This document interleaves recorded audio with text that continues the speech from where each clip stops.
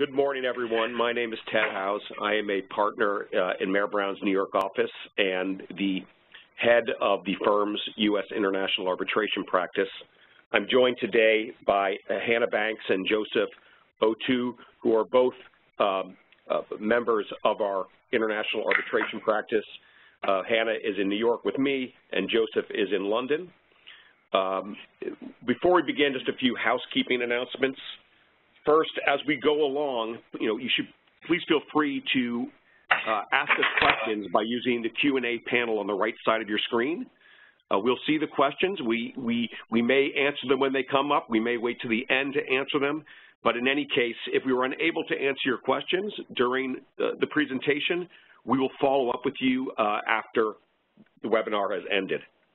Second, uh, this is a CLE credited presentation, so we will provide we will be providing a uh, the CLE alpha numeric code at some point during the presentation. Uh, and in order to receive CLE credits, participants must record this code on the virtual sign-in sheet that was emailed to you with the login instructions for today's program. Uh, finally, one caveat I need to uh, need to state is that our views expressed today are our own and should not be attributed to our firm or to our clients. So with that legal caveat, let's get started. As, as noted, this, this seminar, uh, this presentation is titled Drafting Dispute Resolution Provisions to Avoid International Disputes.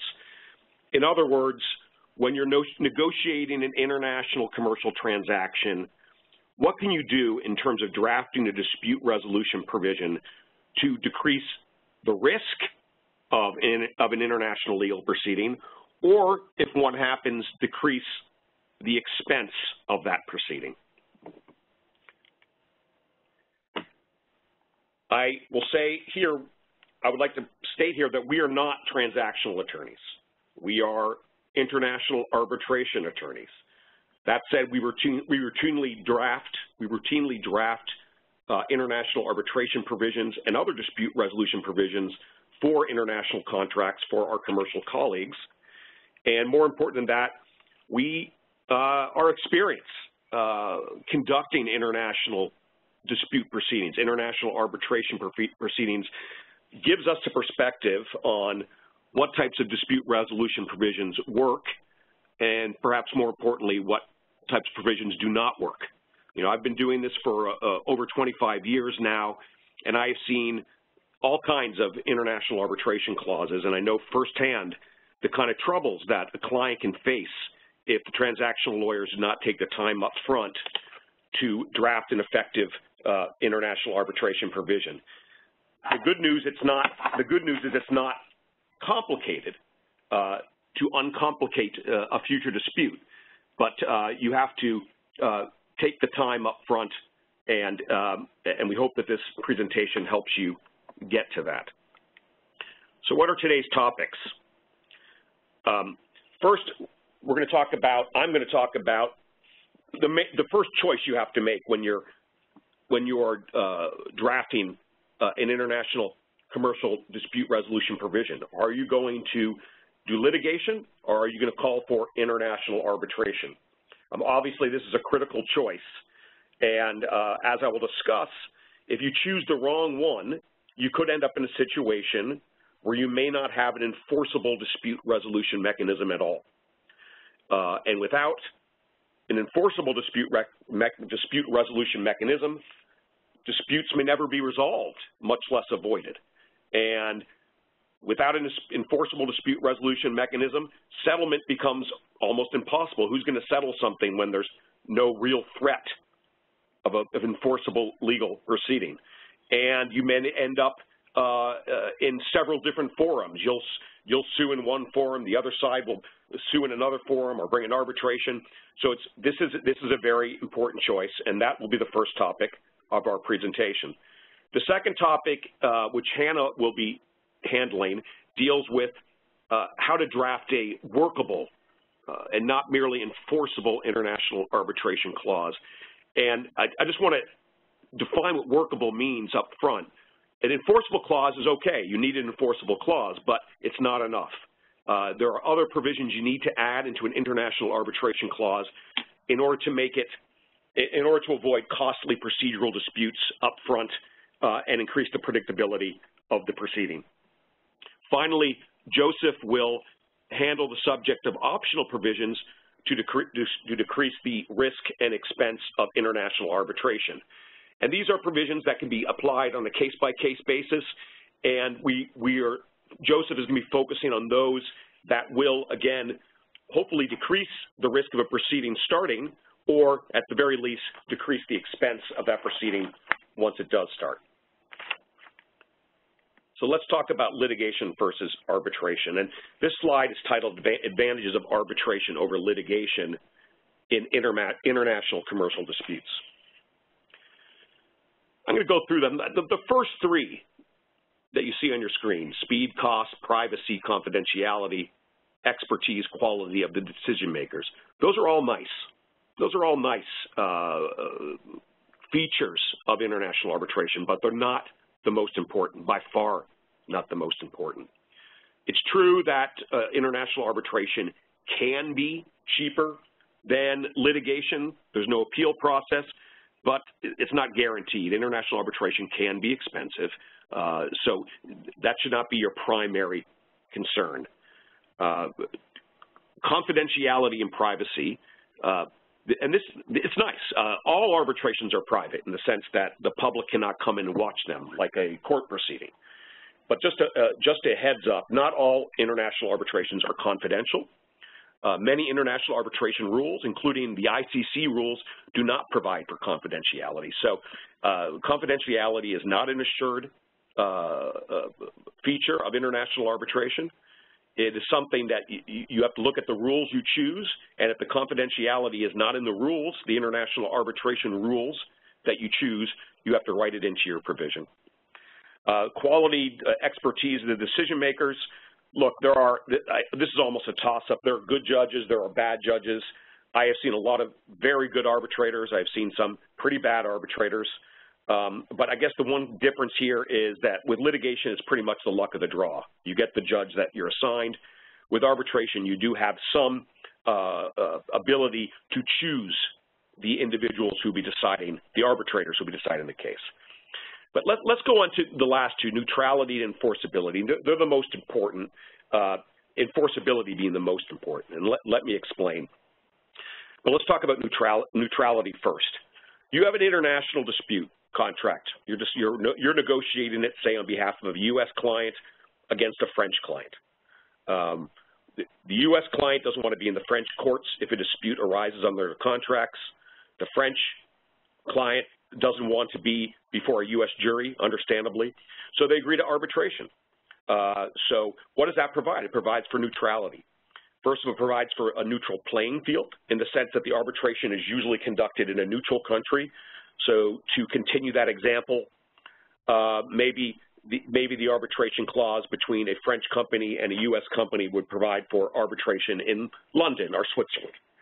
Uh, more important, it provides for a neutral decision maker. Uh, the, if it's one arbitrator, most arbitration rules require that the decision maker be of a nationality other than the parties. So in this case, it wouldn't be a French arbitrator. It wouldn't be a, a U.S. arbitrator. It might be an English arbitrator or a Swiss arbitrator. And in case there's a three arbitration panel, a three arbitrator panel, which is more common, um, each side gets to pick their own arbitrator. Maybe the French side picks a French arbitrator. Maybe the U.S. side picks a U.S. arbitrator, but the president of the tribunal, the chairwoman or chairperson or chairman, will be of a neutral nationality. So you have neutral decision-making uh, on a national scale. Most important, and this is, uh, if there's anything you could take away from the presentation today, I think it's this, is enforceability. There is a treaty called the New York Convention on the Recognition and Enforcement of Foreign Arbitral Awards. It's a treaty dating back to 1958. It's been a stupendously successful treaty. There's maybe uh, 160 nations, most of the world, have ratified this treaty. The treaty does two things. First, when you sign on to the treaty, when a nation signs on to the treaty, it agrees that if one of its citizens agrees in writing to arbitrate with a foreign company, with a foreign entity, and then tries to sue that foreign entity in the courts, the courts are treaty bound to throw the case out. They say, to the, French, for example, to continue with my example, uh, thank you uh, to the French citizen, you can't sue the American citizen because you agreed to arbitration and we're not going to even entertain this lawsuit. Second, and probably more important, is that all, when you sign on, when all these countries sign on to the New York Convention, they agreed that if there is an arbitration judgment, it's called an arbitration award, against one of your citizens, and your citizen refuses to pay it, and the other side comes to the courts to try to enforce it against you, the courts are treaty bound to enforce the award without looking under the award. There are some limited exceptions to that, but the, the bottom line is this, uh, and I think it's easiest to take an example, uh, and let's continue with the same example I've been giving. French, you go through an arbitration against a French company. You win a million dollars against the French company. The arbitrators award a million dollars. The arbitrators cannot enforce force the uh, French company to pay the million dollars. Uh, they don't have the power of the state. So you and and the French company, let's say the French company says no, I'm not going to pay it. Well, then you take that arbitration award, you walk into a French court and you say, uh, French judge, here's the arbitration award. Please attach the assets of the French company, the bank accounts, et cetera, located in France so I can be satisfied and, and get the money that I was awarded. Uh, that, that, is, that, that is the the, that is the essence and really the, the linchpin of international arbitration in international dispute resolutions. There is no comparable treaty for the enforcement of court judgments abroad.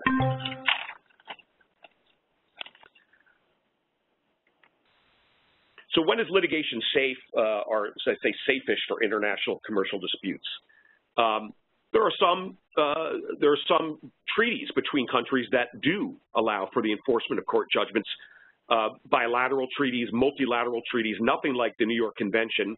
Uh, but for example, in the EU, uh, there's the, the, in the EU treaty members of the EU, a, a, judgment in one nation is enforceable in the courts of another nation. Okay, but that's very limited. Uh, there is, in some uh, some cases, there is established record of, of comity between nation courts. So, for example, uh, the English courts may be very good about treating American court judgments uh, with respect and given it comity, but it's it's not for sure. You don't know that for sure, and are we are you willing to take the risk? Because the English courts, for example, are not treaty bound to enforce U.S. court judgments. They're they're they give it some deference, but they they are not treaty bound. So you're in a situation where you may have a litigation, win against uh, the English citizen, go into the English courts don't enforce it. Uh, a third a third time that litigation is safe for international disputes uh, is when your adversary has fixed sufficient assets available for attachment in the litigation forum. So if, for example, you, you agree to litigation with a French company and you know the French company has factories in the U.S. that you know will be there uh, and there'll be a sufficient amount of money to satisfy a future dispute, well, then if you win a litigation judgment, you can enforce it against those factories and you don't have to worry, you don't have to worry about that. But the question is, how do you know that? Uh, how do you know that there's going that there, that the, the assets will be there two years from now when the arbitration when the litigation's over? How do you know that they're going to be sufficient? So that's a, that's a that is also a risk that you take. Uh, three other uh, three other situations: money's in escrow, purchase price holdback provision, for example. Um, uh, that's the rare case. Uh, and you know, are the funds sufficient to cover, uh, uh, to allow the enforcement of a litigation judgment in the future? That's a question you have to ask. Um, next, no chance you'll be the plaintiff. Um, well, if there's no chance you'll be the plaintiff, you don't have to enforce anything, right? So make them chase you in your home court. It's fine to agree to litigation. But how are you going to how are you going to predict that? That's something you really got to consider. How do you predict that? I mean, uh, you never know. You may have to be the claimant. Well, for example, if you're the seller rather than the buyer, you're more likely to be the defendant. If you're the larger company with more money, you're more likely to be defendant. But again, it's impossible to predict that with 100% accuracy. So again, there's a certain risk that you're taking. Lastly, I just refer to um, two other instances. Jurisdictions that don't enforce international arbitration awards, and I split them up into two. One is non-signatories to the New York Convention. So again, those countries that haven't signed on, they're not treaty bound to enforce international arbitration awards. Um, in that case, uh, litigation uh, judgments are just as unenforceable as, our international arbitration awards are just as unenforceable as litigation judgments. Um, that's so. In, that case, you may even have to consider agree, agreeing to litigate in the courts of your adversary if that's the best thing you can do. Um, the next, I, and I put this down, are I call them renegade signatories. Obviously, some countries are better at adhering to treaty obligations and others. Um, it's easier to enforce an international arbitration award in Switzerland than it is in China or Russia, but it's maybe the only game in town, or the best of several evils, because uh, if, for example, you're doing a transaction with a Chinese company, I don't think you want to be in the Chinese courts, and if you have a U.S. court, if you agree to U.S. litigation, the Chinese courts are not going to give deference to a U.S. court judgment. So international arbitration, while it has its limitations, uh, it, it, may be the, the, best game in town. Let's continue. Um, let's talk about, and now assume you are going to agree to international arbitration. You, you agreed to that um, instead of litigation. The, the, this section of our presentation, we want to discuss what do you put in the clause to make it not merely enforceable, but also workable, as I, as I defined earlier, to make it a, a, a system, a, a procedure that will avoid procedural disputes up front and limit the costs for your client. The dangers of drafting, the dangers of a poorly drafted international arbitration clause are very significant. Most significantly, it may preclude arbitration jurisdiction altogether. Arbitrators get their jurisdiction entirely from the party's agreement, right? So if the party's agreement is defective, it doesn't it doesn't effectively give the arbitrators that authority. The arbitrators don't have that authority. At the very least, it will lead to court challenge, a poorly drafted international arbitration clause will lead to court challenges and added legal fees. And Hannah will discuss some of this, but there could be uh, disputes about the clause. Then you go to the courts, and maybe the courts in the end say, well, the clause is enforceable, but then you spent a year and lots of fees getting to that point. Uh, third, reduces predictability of the arbitration dispute. That's a, basically a corollary of the above. And last, um, it jeopardizes the chances of successfully enforcing a award, which is what I was getting to earlier, that uh, you may go through a situation where you get it, you go all the way to the end, have an arbitration, and the other side challenges the jurisdiction of the arbitrator because the, the, the clause was drafted uh, improperly. And then you have to go to your client and say, well, I got good news and bad news. We won the arbitration, but because the arbitration clause was drafted poorly, we can't enforce the arbitration award, and you don't want to be in that situation. Let me brief, very briefly discuss what is necessary for an enforceable clause. And then Hannah's going to talk about what is what we believe is necessary to be to make an enforceable clause um, workable. This is the bare minimum an arbitration clause has to state the scope of the dispute to be arbitrated. Okay, uh, it, it, it, and, our, and our advice is, except in rare circumstances, the clause should cover any and all disputes arising under the contract. So this will cover contract claims, it'll cover tort claims in connection with the contract, and it gives the arbitrators broad jurisdiction. A piecemeal clause where you give some uh, you, you get you uh, assign some disputes to litigation and other disputes to arbitration is often a recipe for chaos, at least in my experience. Resourceful uh, defendants will make up all sorts of arguments as to why a particular claim is not within the jurisdiction of the arbitrator. It should be in, within the jurisdiction of the court. And, and even if it's you know, even if it's totally wrong, they can create a lot of mischief and a lot of costs while you're arguing that up front. So it's always safest to give the arbitrators broad jurisdiction. Uh, secondly, arbitration has to be an exclu exclusive dispute resolution mechanism. Okay, again, arbitrators get their get their uh, authority from contracts. So if they, if they don't have the absolute exclusive authority to decide a particular dispute, they can't decide decide that dispute. And here I just want to uh, note the distinction between may and shall, and this is something that I've noticed a lot in defective arbitration clauses. You'd say, in, if a dispute arises under the contract, the parties may uh, the dispute may be, may be submitted to arbitration. Well, that doesn't give the arbitrator exclusive uh, jurisdiction. And in fact, it doesn't give the arbitrator jurisdiction at all. It can be challenged in the courts. So you want to say, in the event there is a dispute under this contract, the dispute shall be settled by arbitration. Lastly, reference to arbitration rules. Now, if you agree to a litigation, if you agree to litigation, it comes with rules, right? We all know that. You agree to litigate in the federal courts, you have the federal rules of civil procedure. Not the case with arbitration. With arbitration, you have to refer to procedural rules that are going to govern the arbitration. And here you have two, uh, two choices. The first choice is to uh, adopt the rules of a particular international arbitration organization, such as the ICC or the LCIA. These, uh, and then they have the rules and these will come with the arbitration. The other is to do an ad hoc arbitration, which is an arbitration which is not administered by an international arbitration organization like the ICC or the ICDR, um, and then you kind of write, have to write the rules into the arbitration clause itself or adopt the UNCITRAL rules.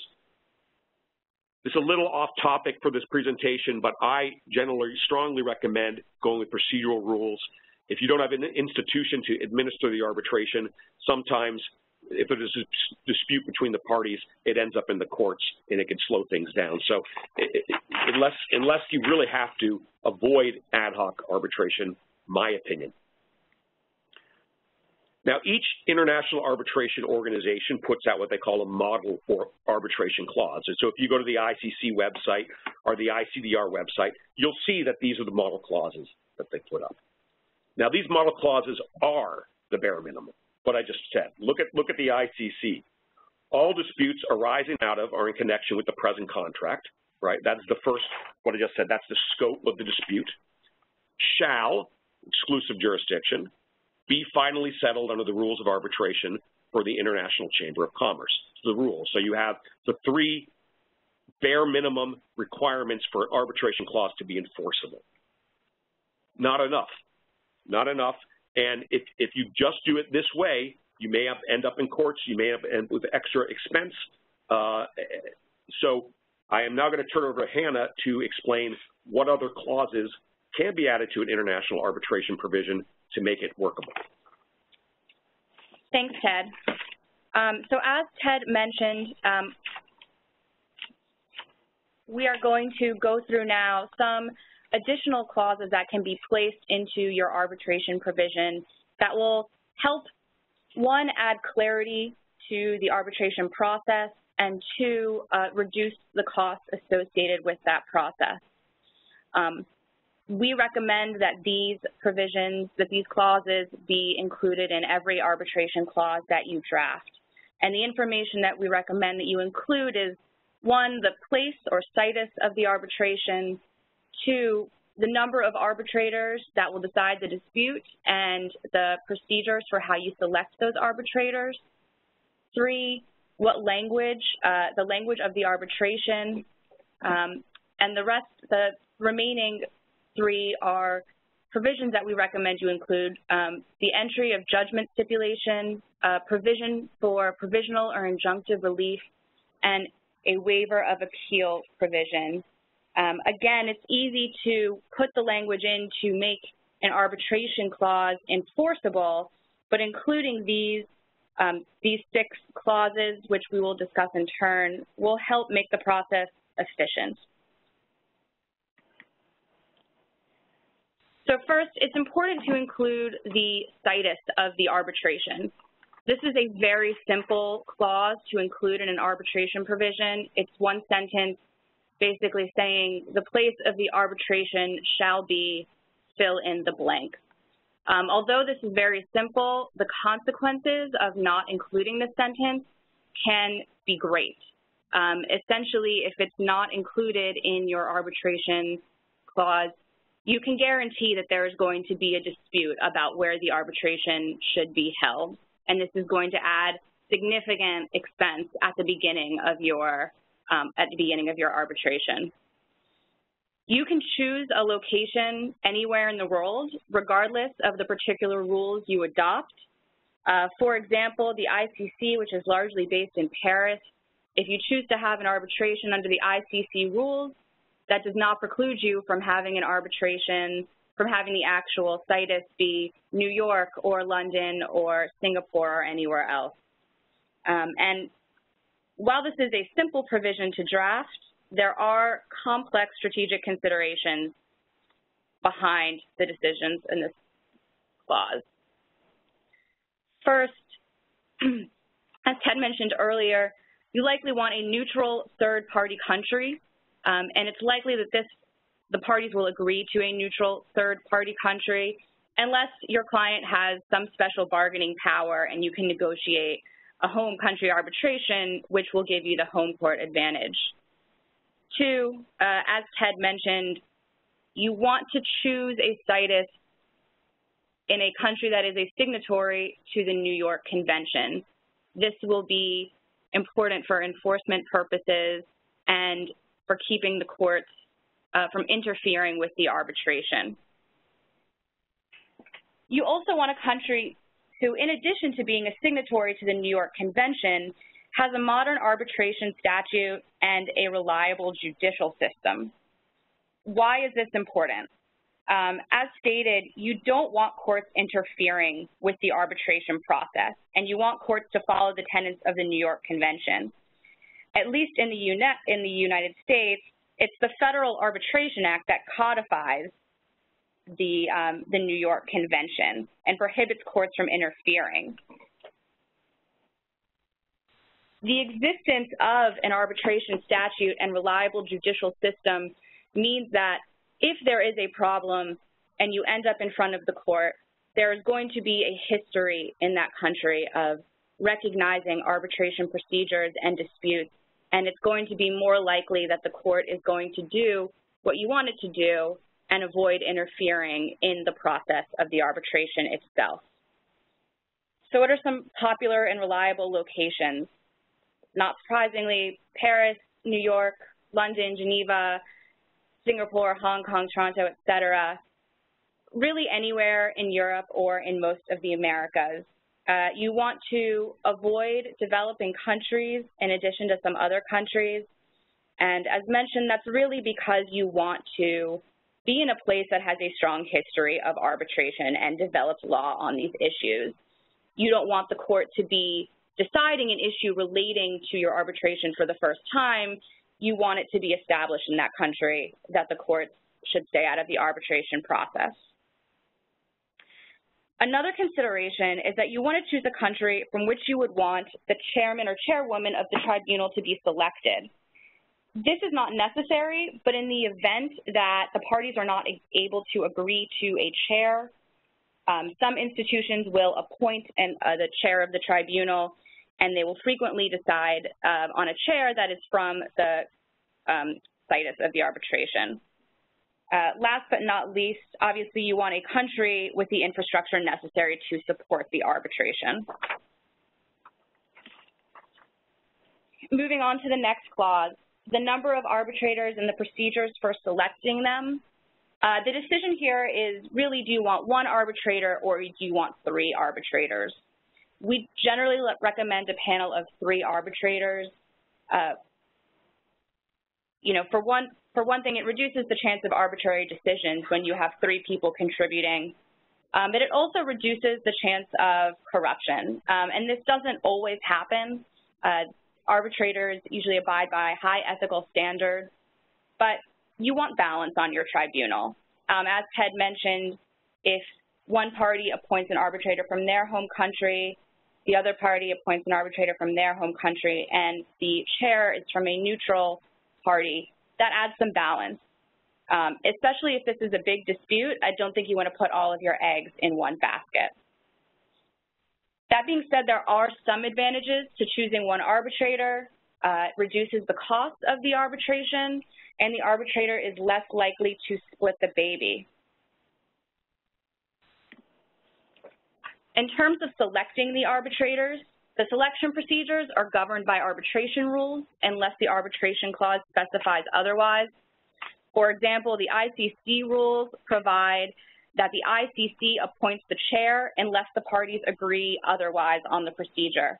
and you would include this information in the arbitration clause itself. Uh, generally, we recommend giving the parties, rather than the ICC or the party-appointed arbitrators, control over choosing the sole arbitrator um, or the chair of the tribunal. And below you have a sample arbitration provision. As you can see, it provides that each party shall select one arbitrator and that the parties will then attempt to agree on a third within 20 days of confirmation of the second. Barring if they're not able to decide on one, then, for example, the ICC can appoint the chair. Language of the arbitration.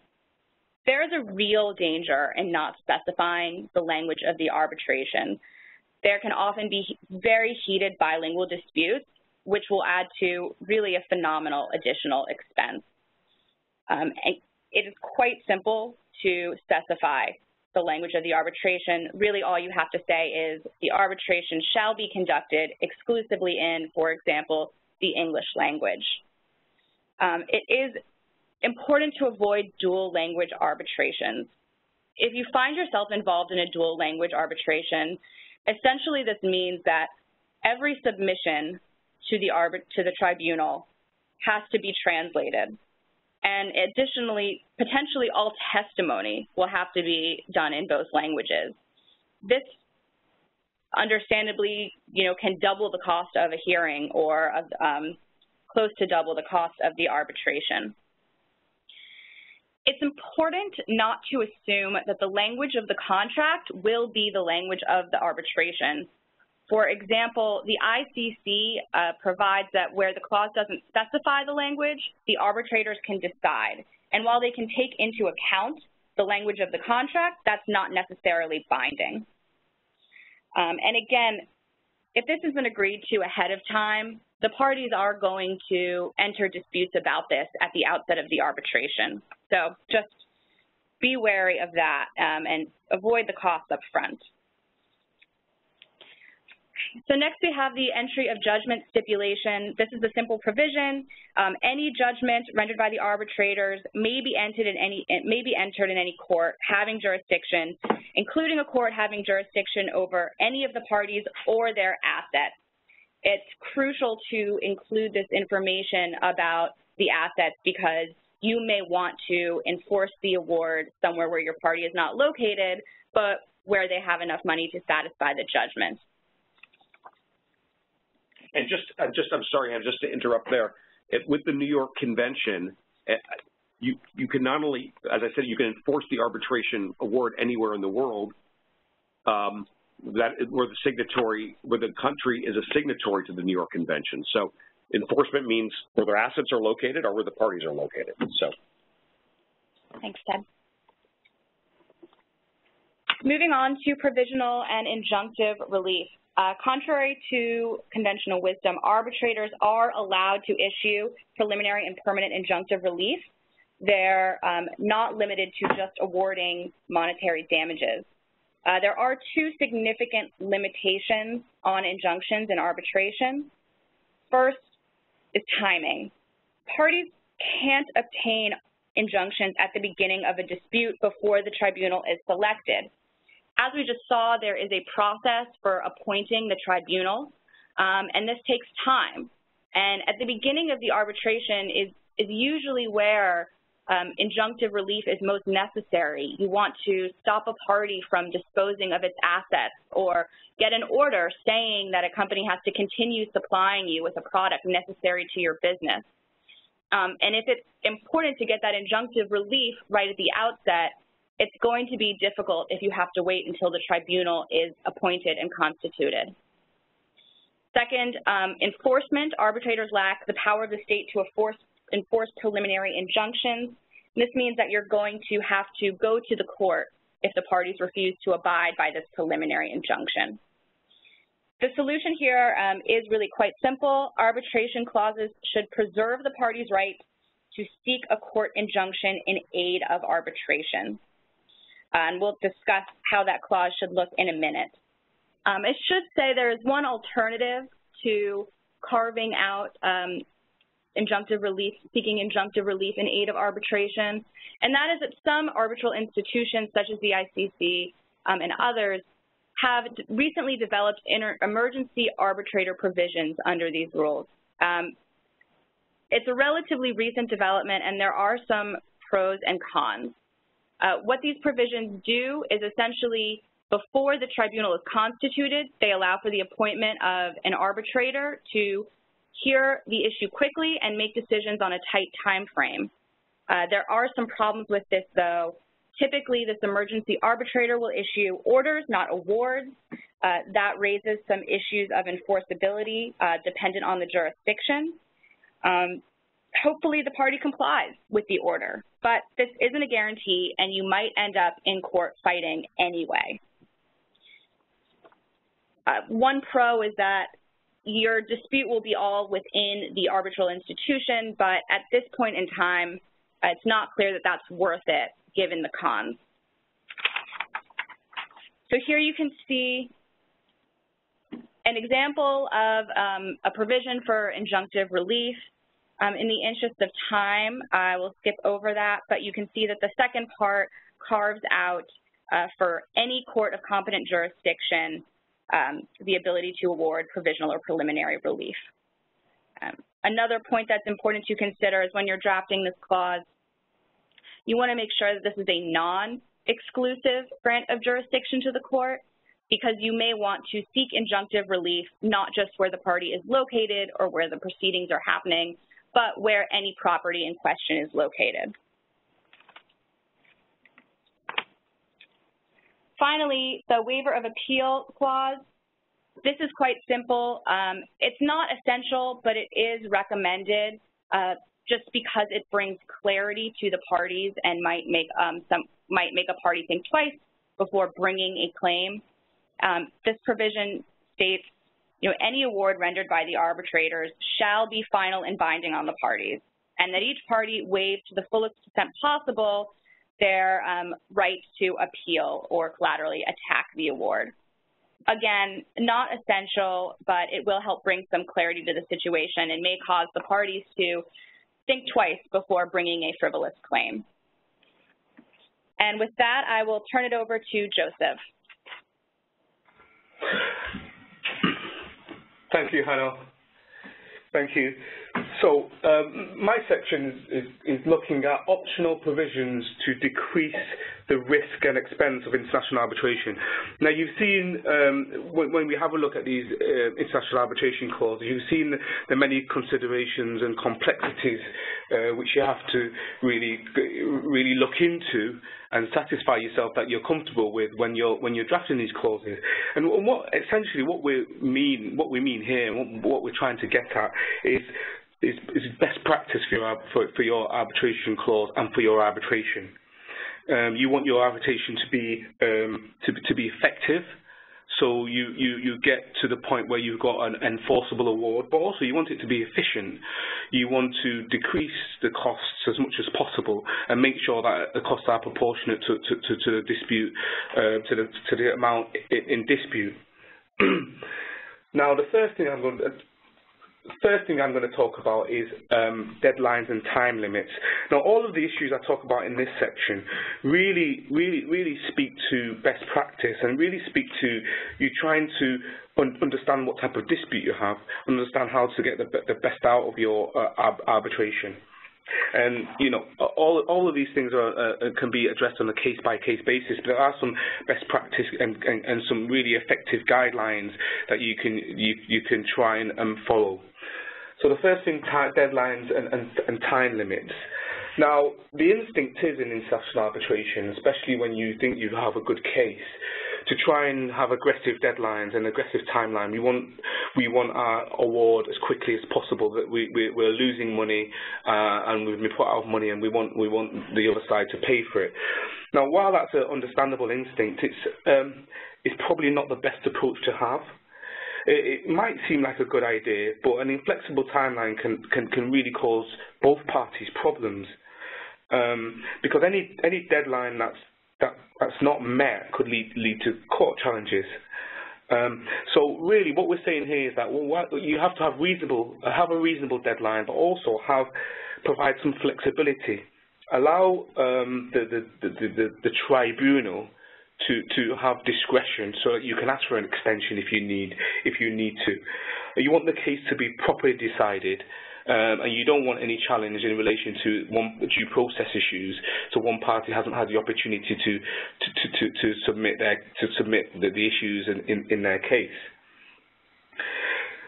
And, and, and, the problem really it goes to, and the real risk is goes to the effective the effectiveness of the arbitration. Now, if a, if a, if you have a strict deadline, um, uh, if one of the parties misses that deadline or the arbitration tribunal miss, miss, miss also miss a deadline, then may, it may impact on, on the tribunal's jurisdiction when it comes to enforcement. If the, if, if the parties agree that um, something should be submitted or uh, at a certain date and it's not submitted at a certain date, then it opens up um, a risk of uh, one party or the other challenging um, challenging this.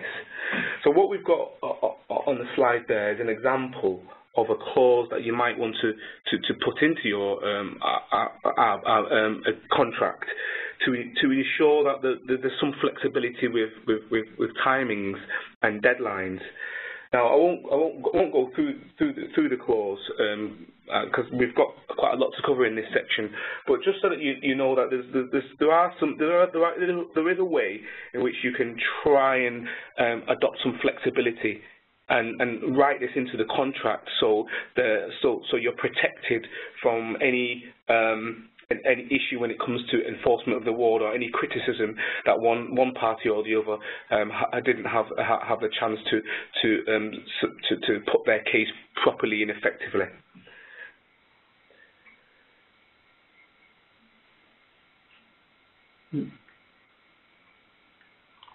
Now the second slide relates to um, summary disposition of procedures. And what that really relates to is giving the, the arbitral, arbitral tribunal the opportunity to dispose of a claim or part of a claim. Now, in international arbitra arbitrations, generally arbitrators are not permitted to issue a summary judgment um, ruling, um, even where one party is, is, is, entitled to a judgment as a matter of law. And that all goes also to do with the due, due process. The parties agree to, to take the take, take, the matter to to, to uh, arbitration, and that arbitration uh, needs to, to go its full course. So what's the issue here? So the unavailability of, of a summary just summary disposition procedure can, can really be addressed um, through the drafting of an arbitration clause. Because the general position is that uh, uh, any order is subject to a tribunal's final adjudication. So it's basically it's a provisional order generally tribunals are, are empowered to give, not final orders.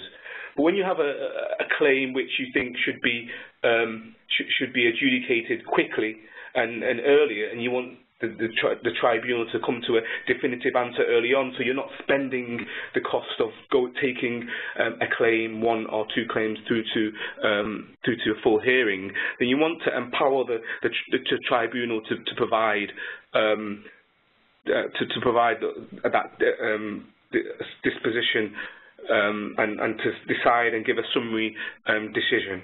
And so we've got a tribunal um, we, we, if we've got a tribunal considering that, then we've got some, some wording in there on the slide, which which will which will allow the tribunal to give um, to, to, to, to, give um, a, a, a, a, decision which is final and binding. So you don't have to go um, to a final merits hearing. So just looking at this clause very, very quickly, um, we, we say the arbitral tribunal shall have the authority to hear and determine in a preliminary phase of the arbitration any issue of law asserted by a party to be dispositive in whole or in part of any claim. So essentially, we're empowering the tribunal to, to, to, to rule on particular claims and to, to, to dispose of them early on in the proceedings. And that essentially is what that clause is for. Because in international arbitration, you don't have a, a the, the, tribunal doesn't have a, a general um, power to do so. You have to think about this and, and write it into your contract. So the next slide I'm going to look at is negotiation or mediation as a precondition to arbitration. Now this can, tends to be quite um, quite popular and what, what they call, sometimes people call them hybrid clauses or tiered dispute resolution clauses. And, and essentially what this provides for is um, for an arbitration clause which provides that the parties have to go to um, mandatory negotiation, conciliation or mediation of their dispute prior to commencing arbitration. So essentially, we're saying before we press the nuclear button and we go to international arbitration, we spend all this money. Let's see if we can we can try and resolve this through through, through a more um, alternative form of dispute resolution. now, there are some issues here, and, and I'm going to look at them in, in, in and there are some there's some advice there's, uh, there's some advice that, that we, we probably we should be we should we should be considering when we're looking at these kind of the, the, these kind of tiered dispute resolution provisions. The first thing is you want to avoid one party abusing, abusing negotiation um, mediation process as a means of delaying the arbitration. So make sure you have strict um, and short deadlines this ensures that the, the, the negotiation phase or the mediation phase is is is is is um, is is met and and and really what we're trying to say there is that once you once you agree to go to negotiation, let's go to negotiation. Let's try and get it over and done with. If, if you're not able to settle it, let's not waste any more costs. Let's take the take the dispute to arbitration and try and settle it that way. Also, make sure that the arbitration um, is it, the arbitration is mandatory, not optional. So following any conclusion of unsuccessful negotiation or mediation, you, you want to use the word shall, not may. Ted alluded to that uh, earlier. You, do, you don't want to say if there's unsuccessful negotiation, you may take it to arbitration. It, it needs to be obligatory, and that that removes any any kind of challenge from one party or, or, or the other, and it provides that the that, that the, uh, the, the tribunal does have a jurisdiction to hear a dispute should the parties not be able to um, successfully settle their, their dispute by, um, by alternative means. And also, another um, best practice is, is to require executives with decision-making authority to engage in nego negotiations. I was involved in, in, in, in one um, dispute where it had a, a, a tiered dispute resolution uh, provision, and we, we turned up to, to, to the negotiation, and actually we, we, we found that the, the, the people on the other side didn't couldn't settle the dispute conclusively. They had to go back and ring head office. They had to deal with other executives, and that took a, took a long time um, to try and get to to, tr to try and get to any um, a, a position that the both parties could agree on.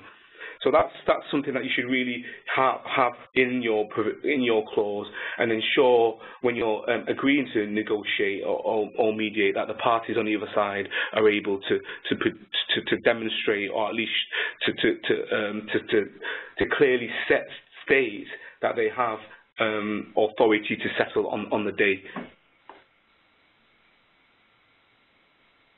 So mandating legal fees to prevailing party. Legal costs, of course, is always a big, big issue for clients, and, and in arbitrations, particularly if they're complex, um, uh, legal fees can be quite quite significant. So uh, under most arbitration arbitration rules, the arbitrators have, have discretion but not but not obligation to order the losing party to pay uh, attorney's fees and other costs of, of the successful party.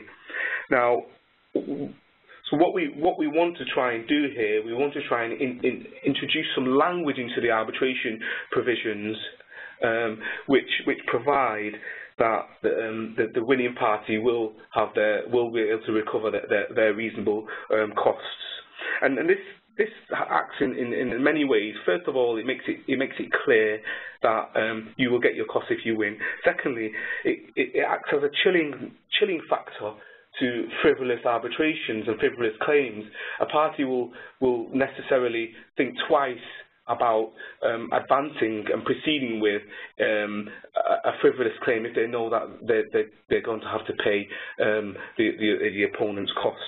And, we, and we've put some, some, some language together in the example, as you can see, which which would be best, best, practice to use when we're talking when we're when we're talking about trying to allocate um, recovery of legal le legal fees, and and you can see that on on the slide. So consolidation and joinder. Now, many considerations, and, and, I think it just gets even more complicated and nuanced because what you're trying to do in, in, a, in an arbitration um, dispute provision is to try and anticipate what, what might what may happen and try and, as much as possible, manage uh, those those risks to ensure, as we said earlier, that the, the expenses minimise and you still have an effective arbitration um, award at the end of it. So, um, so consolidation and joinder. Now, arbitration tends to be a, a, a, it, tends to, tends to involve quite complicated disputes at times, but arbitration is, is, is consensual. So, a problem arises when there are more than two parties who are not party to the same arbitration agreement. And that's essentially the issue in relation to consolidation and joinder. Consolidation, it concerns um, um, consolidating existing proceedings. When we talk about joinder, we, we, we, we talk about um, joining parties to, to, to proceedings. So in, in relation to consolidation, that would generally apply in a multi-contract situation where you have one, tra one, one transaction um, with more than one contract possibly binding different parties. So a distribution a, a, arrangement where you where you have different parties all part of a of, of one transaction. Uh, joinder, on the other hand, relates to multi-party, where you have actually one contract, but you have potentially have more than more than two parties. Uh, and as we'll see later, that this brings up some some quite significant issues with in, re in relation to the arbitration arbitration process. So the aim the aim really is to avoid multiple proceedings and inconsistent awards and that's really that's really where we what we're trying to get to, and that what we're trying to um, legislate against by drafting. So consolidation provisions. So most sophisticated corporate transactions involve mul multiple related contracts, um, and there, there tends to be a commonality across these different contracts. You can have a master agreement and an ancillary, ancillary agreement. However, without express agreement of the parties, disputes under related contracts will, will be heard by different arbitration tribunals. And, of course, as, as, we say in the slide, the dangers are, well, it becomes very expensive, and then you have um, inconsistent awards on the same issue, and this can really be, really, really can raise some significant issues for, for, for the parties involved. So what's the solution then? Well, you, what you do is you have consolidation provisions, and you include those in your agreement. Um, so consolidation provisions uh, um, in terms of international institutional consolidation rules, so in a lot of the institutional rules, Ted mentioned ICC, um, LCIA, for example, all of, a lot of the international arbitration uh, uh, um, rules have consolidation provisions in there, but it's not always um, sufficient because you, you, there, there, are some conditions which have to be met and which won't, won't be met in, uh, in, in, in every situation. So, for example, under under the, the IT uh, under the ICC rules, um, it permits consolidation either where the parties have agreed, it's Article 10, or a claim is made under the same arbitration agreement, or there's the same legal relationship, or the arbitration agreements are compatible. So to get over those hurdles can be quite difficult, and this, this is why um, it's best advice is to think about the type of transaction you're, you're involved with. Think about uh, whether consolidation will be necessary, and think about how to how to make that consolidation work. Now, joinder provisions this is the, the other side, and joinder really relates to uh, when you have multi-parties, and, and, the problem here is, is, is one of equal treatment. So where you have an appointment of a tribunal by more than two parties, the issue is how to ensure party autonomy and all parties contribute to the tribunal appointment process. Now, as you can see there in, in the first bullet point, I've referred to a case, and this is the Siemens versus Dutco, which is, which is quite a, a, a quite a, a famous dispute in relation to this issue of joinder provisions and multi-party. And essentially, this, this case concerned um, an ICC arbitration in which there were two respondents and one claimant. Now, the claimant appointed its arbitrator, but the ICC court insisted that the two respondents should jointly appoint a single arbitrator, and then we have the third arbitrator to be appointed by the ICC court. Now, the French court subsequently annulled the award of the ICC tribunal, finding that the procedure for the appointment of the arbitrators provided for in the ICC rules gave rise to inequality because one party, in this case, that was the claimant, had a greater influence on the makeup of the tribunal than the other parties. So you can see what, what kinds of issues arise here. so what we're talking about here, we're talking about that we want to ensure that there's a possibility for a defendant to join a third party, potentially to claim a contribution or indemnity. Now, the international arbitration rules, again, they have provisions that deal with um, a, a joinder, but those provisions don't always go far enough. And, and, and I've put, I've, you can see um, Article 7 of the ICC rules, uh, Article 22 of the LCIA rules, all deal with all, all deal with, with, with um, joinder. But we, you, you, you can't always rely on those rules, so you, you need to be thinking about the type of disputes and the kind, the kind of issues which may arise, which you may have to deal with where you might need to join another party and try and introduce some drafting language which, which, which deals with that. So another consideration is, is, is, is discovery. Now, uh, historically, discovery in such arbitration has been has been traditionally quite limited. There's been no dispositions, depositions, no, no targeted document requests, etc. But times are changing. You have, uh, you know, proliferation of of, of, of digital data, digital documentation, which which has meant, in multiple places, which has meant that it's much it's much harder to, first of all, more more more documents are are produced and generated, and it's much harder to, to narrow down the particular documents you're you're you're looking at because they they they may be in different places and they may cover lots of different things.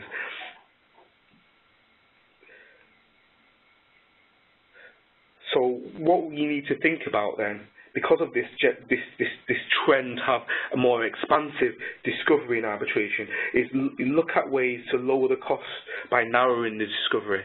So actually, while the, the, the, the data set is increasing, we want to think about ways in which we could we can de decrease and narrow and make and make discovery much more focused and, and some of those um, some of those approaches are capping the number of document requests.